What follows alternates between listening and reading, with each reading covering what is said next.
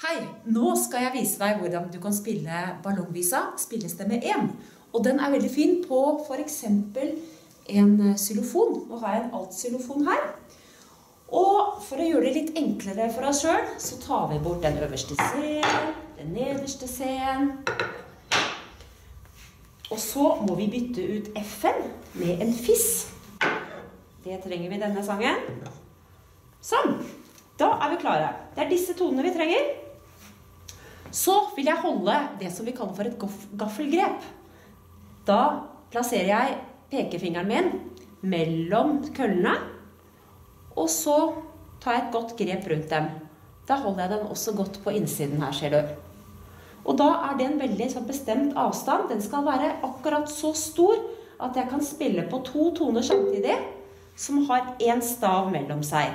Da blir det det vi kaller for en ters. Og vi skal spille bare terser i denne sangen, så det passer utmerket. Så er det et veldig fint system her. For vi skal spille fire ganger på de samme stavene før vi flytter oss et hakk til venstre. Og da kommer det hele til å låte slik. En, to, tre, fire.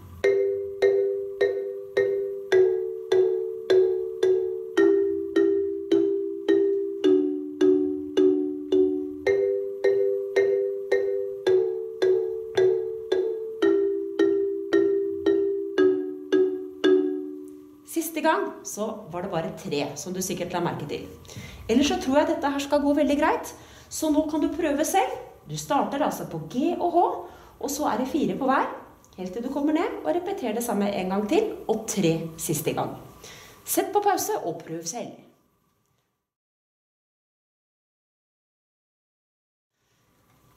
Da skal vi prøve å sette dette sammen med melodien, sånn at du hører hvordan spillestemmen går i forhold til den.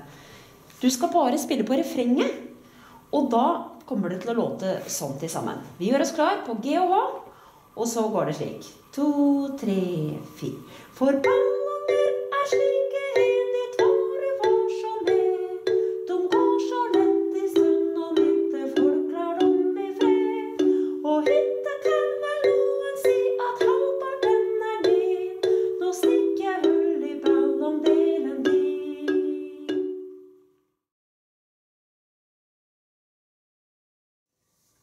Da skal jeg vise deg spillestemme 2 på bananvisa.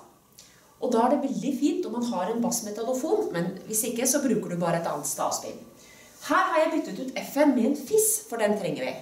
Og så tar jeg bort C-en, begge C-ene, fordi vi trenger bare disse to. Ok, da skal jeg vise deg spillestemmen din, og den går to ganger. Og vi skal starte på en G. Og den går slik. Én, to, tre, fire.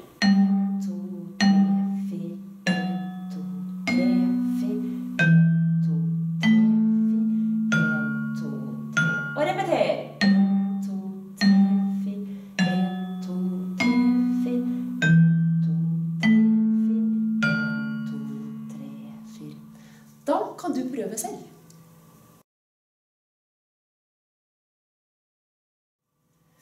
Og så kommer denne her til å låte slik sammen med refrenget. Da synger jeg, og så spiller jeg. Jeg gjør meg klar med G. To, tre, fire.